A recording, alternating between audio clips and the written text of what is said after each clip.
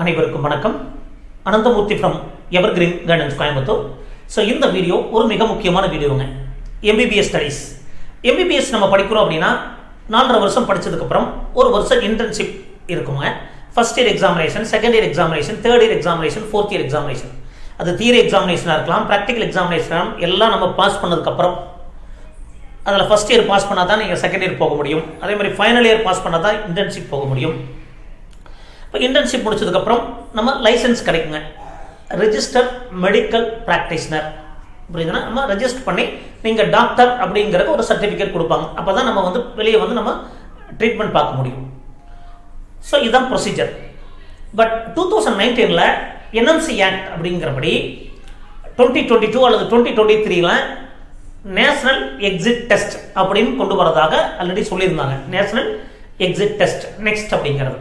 இந்த next examination யாருக்கெல்லாம் eligible யார் யாரெல்லாம் எழுதணும் அப்படிங்கிறத பார்க்க போகிறோம் இந்த நெக்ஸ்ட் எக்ஸாமினேஷனில் டிராஃப்ட் தான் ரிலீஸ் பண்ணியிருக்காங்க டிராஃப்ட் அப்படின்னு என்ன சார் அப்படின்னா இப்போ ஒரு ஒரு இம்ப்ளிமெண்டேஷன் பண்ணுறதுக்கு முன்னாடி ஒரு சட்டம் கொண்டு வரதுக்கு முன்னாடி ஒரு டிராஃப்ட் வந்து ஸ்டேக் ஹோல்டருக்கு சர்க்குலேட் பண்ணுவாங்க. ஸ்டேக் ஹோல்டர்ஸ் அப்படின்னா பேரண்ட்ஸ் ஸ்டூடெண்ட்ஸ் டாக்டர்ஸ் இவங்க எல்லாமே ஸ்டேக் ஹோல்டர்ஸ் தான். உங்களுடைய கமெண்ட்ஸ் இது ரிலேட்டடான கமெண்ட்ஸ் சொன்னதுக்கப்புறம் அவங்க கரெக்ஷன் இம்ப்ளிமெண்டேஷன் பண்ணுவாங்க. ஸோ அதுக்கப்புறம் தான் இது நடைமுறைப்படுத்துவாங்க. இது மாதிரி தான் இந்த fifty percent fees reduction in private medical college and deemed university அப்படிங்கிற மாதிரி ஒரு டிராஃப்ட் தான் ரிலீஸ் பண்ணியிருந்தாங்க.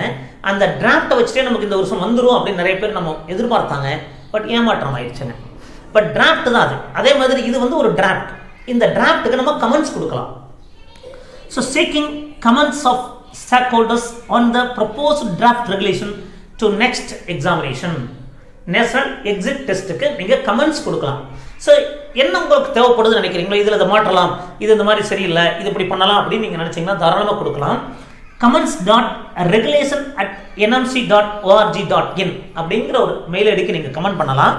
அந்த கமெண்ட்ஸில் சப்ஜெக்ட் என்ன சொல்லணும் அப்படின்னா சப்ஜெக்ட் டேக்லைன் அது thirty days from the publication of this notice என்னைக்கு பப்ளிஷ் பண்ணியிருக்காங்க இருபத்தெட்டு பன்னிரெண்டு இருபத்தி ரெண்டுங்க அப்போ டுவெண்ட்டி செவன்த் இருபத்தி ஏழு ஒன்று இருபத்தி மூணுங்க. Twenty seven one twenty three வரைக்கும் நம்ம கமெண்ட்ஸ் நம்ம அனுப்பலாம்.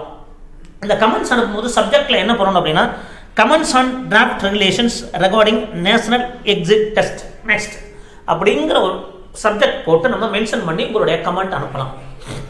அடுத்த இந்த நெக்ஸ்ட் எக்ஸாமினேஷன் யார் யாருக்கெல்லாம் அப்ளிகபிள் அப்படின்னு பார்த்தீங்கன்னா நெக்ஸ்ட் எக்ஸாமினேஷன் ரெண்டு எக்ஸாமினேஷன் இருக்கும் போது நெக்ஸ்ட் ஒன் நெக்ஸ்ட் டூ இந்த ரெண்டு எக்ஸாமினேஷன் யார் யாருக்கெல்லாம் அப்ளிகபிள் அப்படிங்கிறதையும் டீட்டெயிலாக பார்க்கலாங்க applicable to all UG students all UG students pursuing MBBS in medical college இது next ஒன்னுங்க all UG students pursuing MBBS in medical college approved by national medical commission through the Medical Assessment and Rating Board as well undergraduate medical education Board.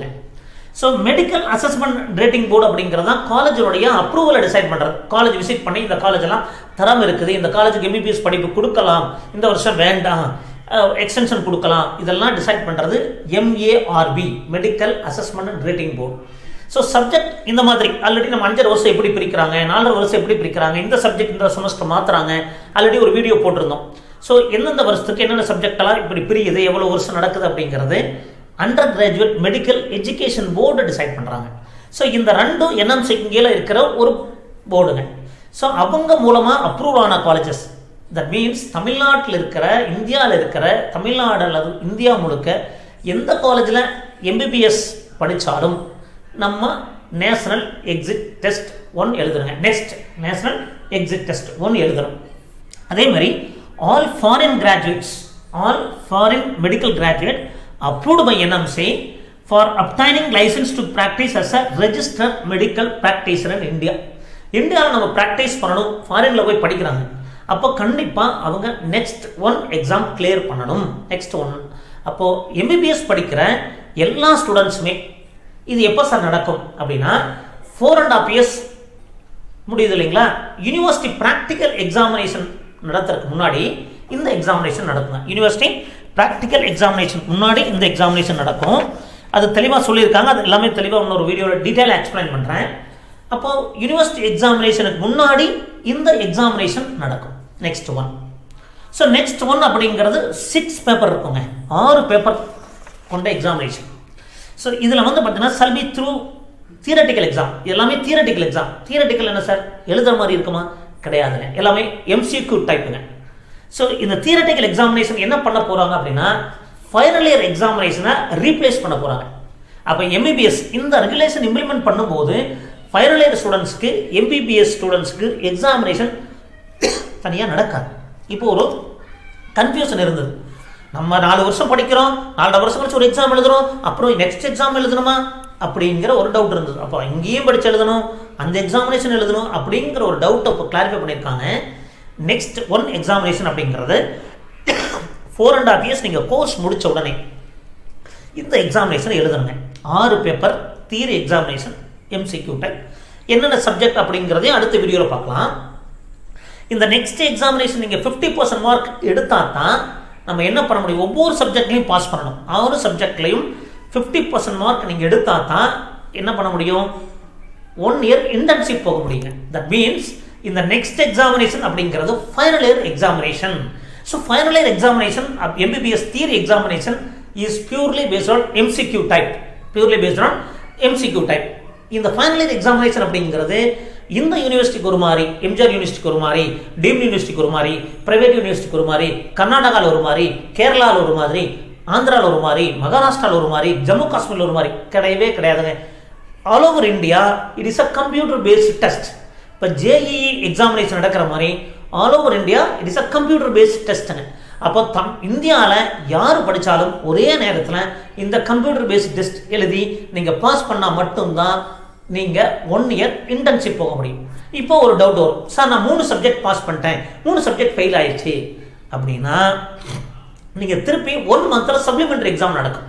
இந்த supplementary exam எழுதி நீங்கள் pass பண்ணிட்டீங்க அப்படின்னா again you can continue for internship already first இயரில் இருக்கிற மாதிரி தான் final year இருக்கிற மாதிரி தான் ஒரு மாதத்தில் சப்ளிமெண்டரி எக்ஸாம் வைப்பாங்க. அந்த சப்ளிமெண்டரி எக்ஸாமில் நீங்கள் மூணு சப்ஜெக்ட் பாஸ் பண்ணிட்டீங்க இன்னொரு மூணு சப்ஜெக்ட் பாஸ் பண்ணாமல் இருக்கிறீங்க நீங்கள் பாஸ் பண்ணிட்டீங்கன்னா பிரச்சனை கிடையாது.